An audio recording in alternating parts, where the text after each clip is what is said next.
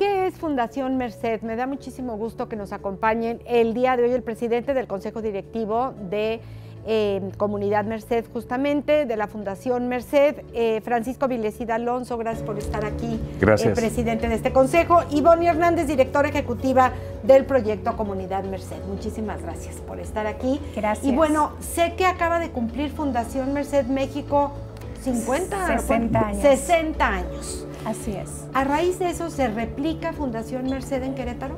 Es ¿Qué hace Fundación Merced, Bonnie? Fundación Merced es una organización comunitaria. ¿Qué entendemos por fundación comunitaria? Eh, una organización local que trabaja en lo local para promover la mejora de la calidad de vida localmente a través de movilizar recursos y fortalecer a los diferentes actores que forman parte del ecosistema social. Esto, dicho en otras palabras, Sí. quiere decir que trabajamos con organizaciones de la sociedad civil, con gobierno, con empresas, con ciudadanía en general, que están interesados en generar un cambio social, que quieren involucrarse socialmente y que están preocupados, preocupadas por las problemáticas sociales que se viven en el entorno y que quieren hacer algo. Entonces somos un facilitador para que eso suceda. Ponnos un ejemplo. ¿A quién ayuda? Un ejemplo, trabajamos eh, año con año con más de 200 organizaciones de la sociedad civil. Esas organizaciones de la sociedad civil trabajan con poblaciones que tienen diferentes problemáticas en cualquier temática que se puedan imaginar. Salud, educación, empleabilidad, todo tiene que ver con garantizar derechos a las personas, darles accesibilidad a derechos y que tengan una mejor calidad de vida. Ese es un ejemplo, trabajar con organizaciones de la sociedad civil que atienden de manera directa a población. ¿200 solamente en Querétaro? Solamente en Querétaro. ¡Qué barbaridad! Son, Esto es son más de muchísimo. 200. Quiero brevemente explicar esa cifra. Sí. Quiere decir que más de 200 organizaciones anualmente reciben al menos un servicio de la fundación. Al menos un servicio. ¿Cuáles son nuestros servicios? Un curso, una asesoría, eh, una canalización de donativo en especie, donativos en efectivo, un voluntariado, un acompañamiento en red. Cualquiera de esos servicios, si recibieron al menos uno, nosotros las contabilizamos anualmente y casi llegamos a 300 todos los años. Para esto se requieren muchos recursos. Y la pregunta ahí es, ¿de dónde salen? Francisco Villesi, ¿de dónde salen los recursos? Hay dos fuentes principales. Sí. Uno, tenemos un bazar donde, abierto al público, donde se venden eh, línea blanca, muebles, eh, ropa, que han sido donativos en especie de empresas que eh, lo, lo obsequian. Eh, nosotros damos un, un recibo deducible a cambio de eso, tenemos todo eso cubierto. Y, en, por ejemplo, Liverpool nos dona línea blanca que tuvo en el salón de demostración y que a lo mejor está pues eh, usado o le falta un cajón o le falta una Que ya no manija lo o van a alguna cosa. y se los donan. Nosotros lo reparamos. Ok. Tenemos un taller y, expertos que reparan esas cosas. Muebles también, a lo mejor de Crate and Barrel o de alguna de estas tiendas que tienen muebles de demostración y a lo mejor tiene una rayadura o algo, lo repintamos y lo vendemos a muy buen precio. Está, eh, se me olvida ahorita el nombre. la pero- colonia Cimataria. En la colonia Cimataria, exactamente. es, un, es una maravilla todo lo que se puede comprar a precios bajísimos. Así es, y a veces hay cosas de sorpresa. Hace poco tuvimos una motocicleta, ¿no?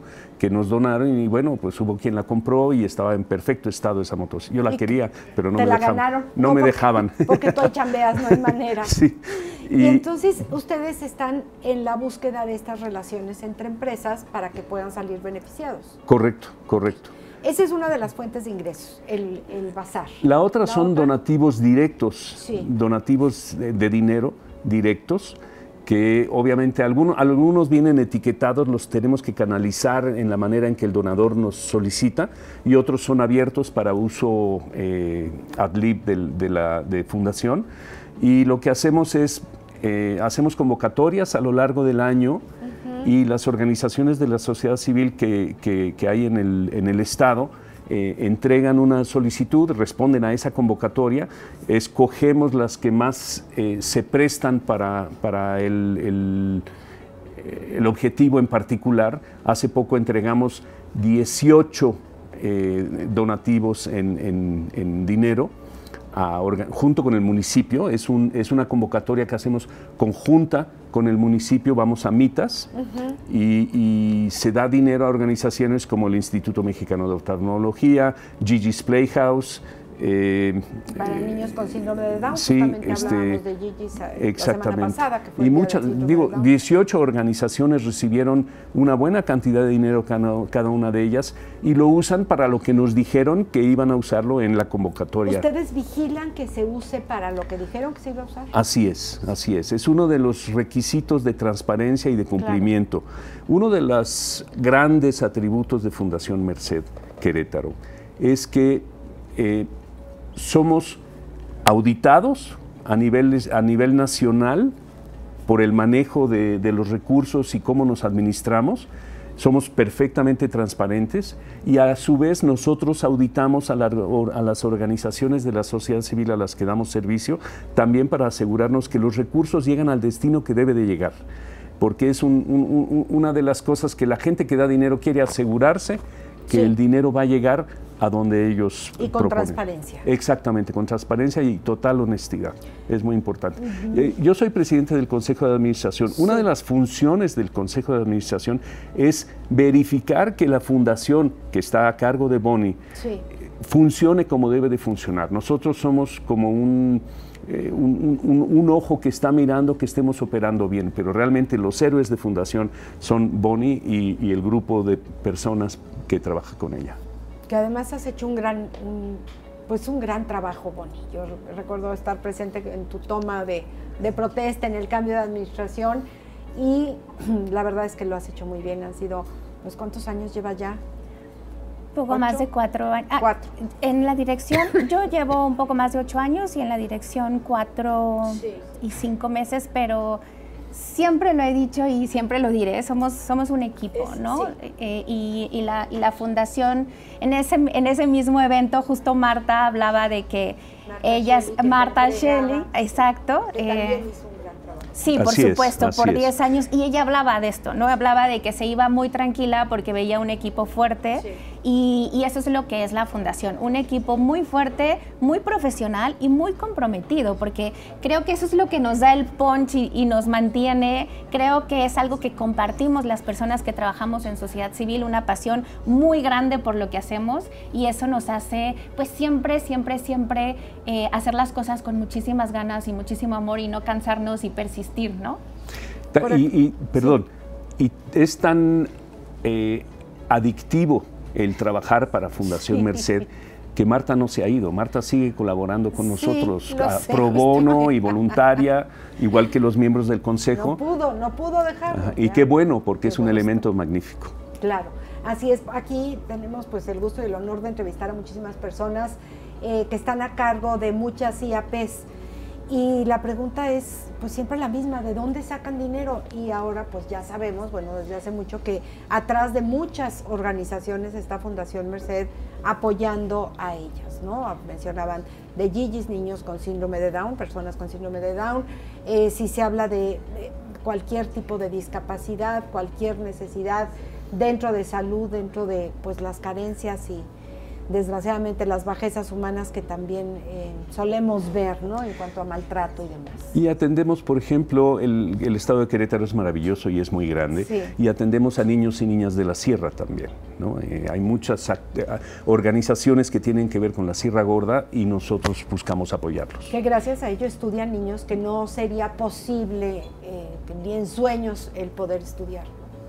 Correcto. En donde sí se requiere. La gente o las organizaciones que están iniciando y que requieran de un apoyo, ¿se pueden acercar a ti, Bonnie? Absolutamente, absolutamente. Gracias por preguntar esto, porque algo que nos gusta mucho compartir es que desde Merced Querétaro acompañamos a las organizaciones desde cero, desde que son un grupo, un colectivo, eh, algunas personas que se reúnen y que están interesadas en hacer algo por su entorno, por su comunidad les ayudamos en el camino de formalizarse si es que así lo quieren. Quedarse como un grupo o un colectivo también es válido y quiero decirlo. Hay personas o grupos que siguen trabajando como colectivos y no necesariamente quieren constituirse y es válido y trabajamos con ellas.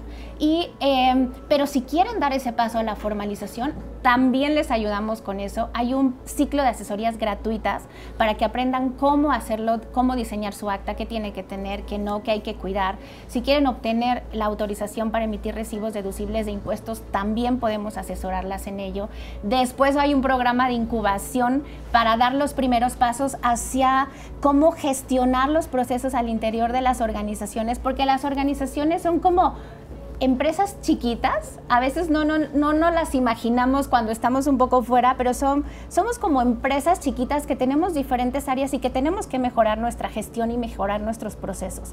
A todo eso les ayudamos, cualquiera que sea el nivel de desarrollo que tenga la organización, tenemos un servicio para, para ellas. Fundación Merced nació para servir en la Ciudad de México y sigue sirviendo en los diferentes puntos, creo que hay tres, ¿verdad? En Coahuila también. En Coahuila, y en Querétaro. ¿En dónde podemos localizarte, Bonnie? ¿Cómo podemos llegar a ustedes? Pues ponemos a su disposición nuestras redes sociales. Ahí nos pueden encontrar. Fundación Merced. www.fundacionmerced.org. En nuestros teléfonos 442 223 3623. Eh, ahí están nuestras oficinas. Está el Bazar Merced, ubicado en Mariano de las Casas número 45, también para que vayan y lo conozcan. Y es una forma también de hacer una compra con causa. Y para las personas que compramos ahí, créanme que nos ahorramos, nos ahorramos mucho. Le compré unos patines a mi nieto que estaban de no sé cuánto creo que 200 pesos, pero bueno, una maravilla, de verdad, tienen unos precios sensacionales. Y si quieren hacer aportaciones en efectivo, bueno, pues a ese mismo teléfono contigo. Correcto. ojalá que lleguen muchas aportaciones. Gracias. Muchas gracias. Al contrario.